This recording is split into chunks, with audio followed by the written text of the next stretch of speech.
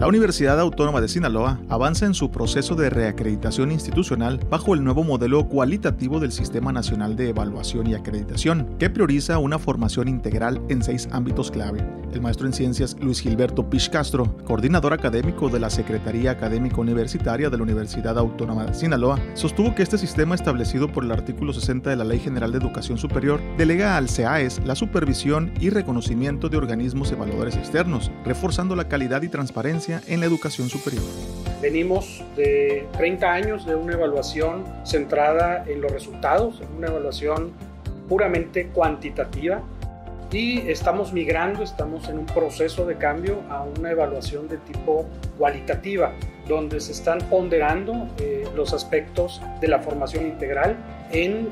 seis eh, ámbitos muy amplios, cinco de los cuales eh, tienen directamente un impacto en las instituciones de educación superior, como son la profesionalización de sus estudiantes, de sus docentes, los programas educativos de licenciatura y técnico superior universitario, los programas de investigación y posgrado y las funciones de la gestión institucional.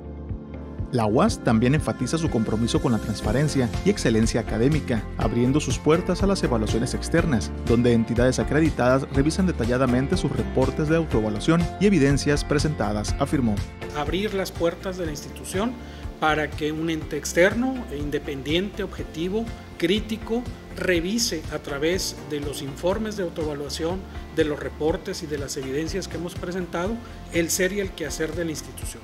Y esos organismos eh, externos que pueden ser eh, las entidades evaluadoras reconocidas por el CEAES o el propio CEAES, pues están integrados por colegios de profesionales, otras instituciones de educación superior, incluso las propias dependencias eh, del gobierno federal, de las autoridades educativas a nivel central. Entonces, esta transparencia se da a partir de abrir, informar, rendir cuentas de lo que la universidad hace en el aspecto académico. Luis Gilberto Castro destacó que este proceso de reacreditación reafirma el esfuerzo continuo de la Universidad Autónoma de Sinaloa por mantener y elevar su calidad educativa, además de reflejar su dedicación a responder ante la sociedad sobre el uso adecuado de los recursos públicos. Universidad Autónoma de Sinaloa